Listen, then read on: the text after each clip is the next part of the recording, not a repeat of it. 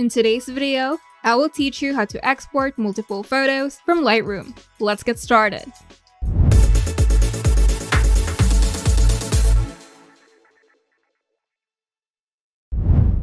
Exporting multiple photos in Lightroom is straightforward and can be done in a few easy steps. First, switch to the library module by clicking the library in the top right corner. Then press G to switch to the grid view, which allows you to see multiple photos at once. Then hold down the Control key or Command key on Mac and click on each photo that you want to export. Alternatively, you can press Ctrl A or Command A on Mac to select all photos in the folder or collection. With your photo selected, click on the Export button in the lower left corner of the library module.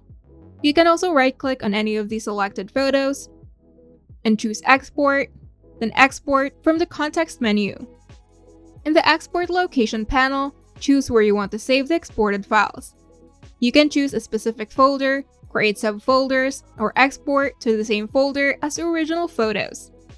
If you want to rename the files during export, check the File Naming panel and configure your naming convention.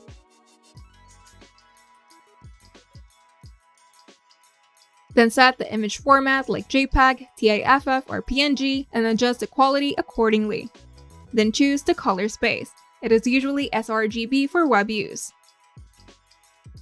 If you want to resize the images, check the image sizing panel and set the desired dimensions. Enable output sharpening if needed, selecting the appropriate settings for screen or print. And decide what metadata to include, for example camera info or copyright.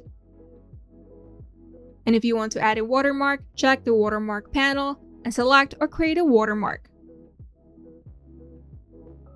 And once you've configured all the export settings, click the export button at the bottom of the dialog box.